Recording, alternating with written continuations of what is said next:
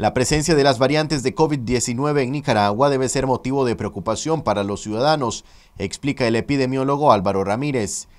Sí, en realidad el tema de las variantes que se acaban de confirmar y que dio la confirmación la Organización Panamericana de la Salud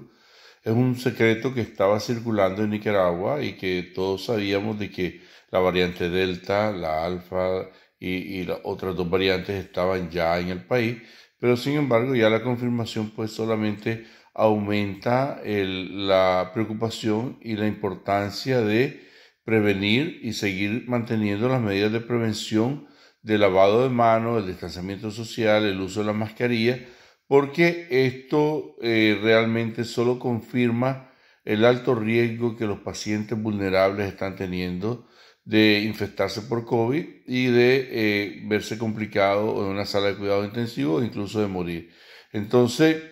no es tiempo de bajar la guardia, es tiempo de reforzar las medidas de prevención y seguir adelante porque incluso ya en Europa ya hay países que están volviendo a la cuarentena debido al alto número de casos que se están dando en, a nivel mundial y esto es algo que está alarmando nuevamente ya que las variantes siguen infectando gente. Aunque haya muchas personas que ya estén vacunadas, es necesario que se continúen protegiendo por salud colectiva. Aquí el peligro que hay es enorme porque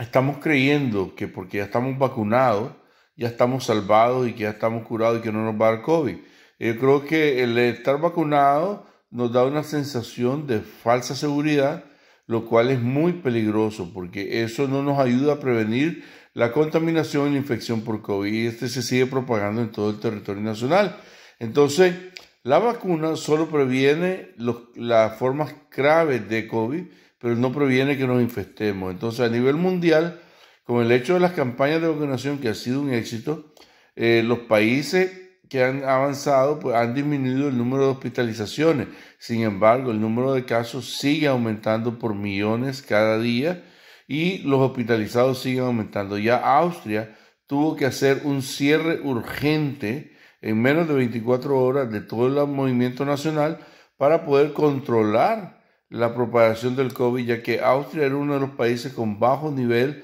de inmunización. Entonces Nicaragua está corriendo el mismo riesgo, ya que nuestro nivel de inmunización es menos del 10% de acuerdo a los reportes oficiales. Entonces, el anuncio de esta variante